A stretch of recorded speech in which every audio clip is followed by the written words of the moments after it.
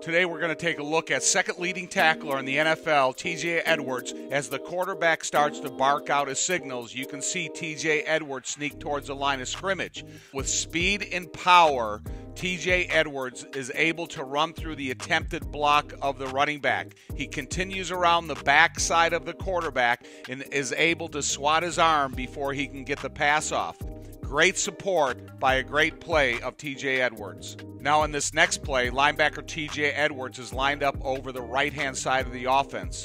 He's able to pressure upfield and take the running back off of his feet four yards deep into the backfield. But with the continuous support of three of his defensive mates, they are able to make the stop for a negative four yards. Great play by TJ Edwards and the support of his teammates. And that's Thayer's playbook. Thanks for watching.